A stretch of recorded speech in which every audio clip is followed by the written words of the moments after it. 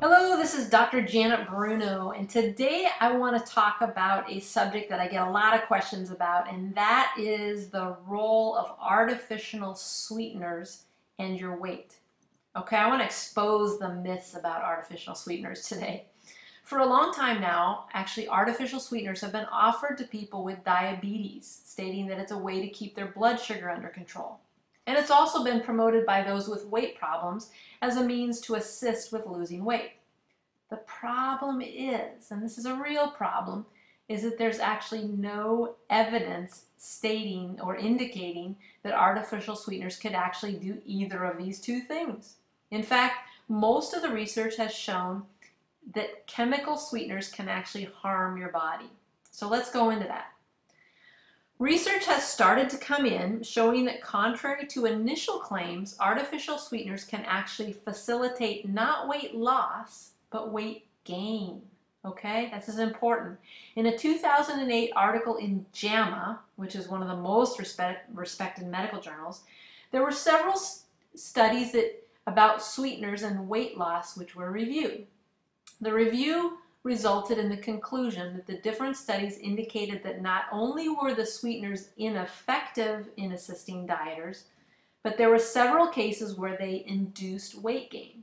And moreover, the other studies also showed that the evidence about the value of the sweeteners was ambivalent and actually lacked any clear indications that they were useful at all. So this result can actually be attributed to our brain's response to the consumption of artificial sweeteners.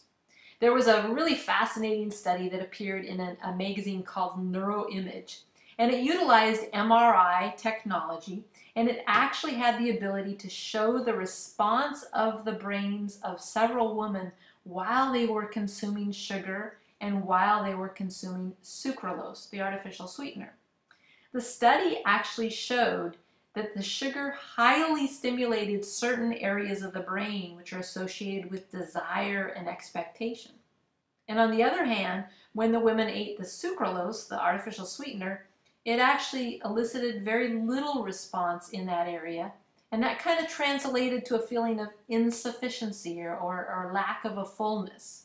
So this lack of satiety or feeling like you are full actually served as a stimulant which made some of the women crave sweets and engage in overeating.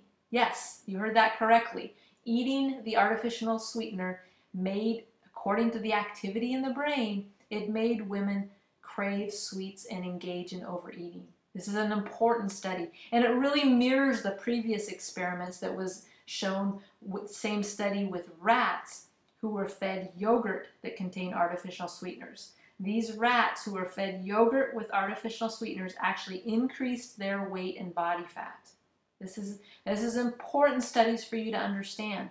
Many people go to the artificial sweeteners when they're dieting, and that can actually be a very destructive thing to do. So the results do show that it's really futile to try and substitute sugar with artificial sweeteners. And this, this very same phenomenon is repeated by people who try to substitute a known dietary evil with a quote unquote healthy version, something that they get from a quote unquote health store. For example, in lieu of eating a sugary muffin, they may opt for one that's generously sweetened with fruit juices.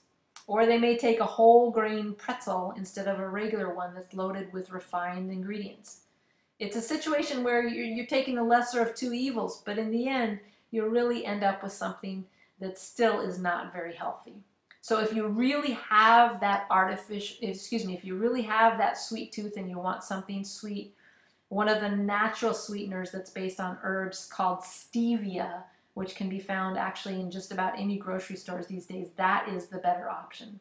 So there's a lot, this is just one example, but there's a lot of excellent plant-based alternatives. They're perfect food substitutes which can provide you with the dietary satisfaction without all of the disadvantages.